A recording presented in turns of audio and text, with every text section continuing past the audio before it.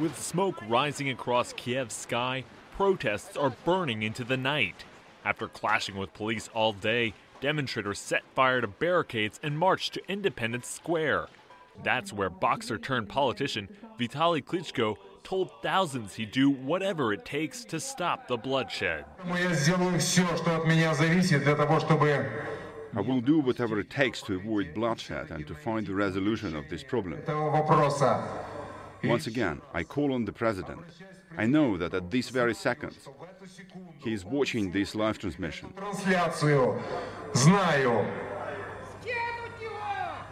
I know that you, Mr. President, have the authority to solve this problem. Snap elections will change the situation without bloodshed, and we will do everything to achieve that.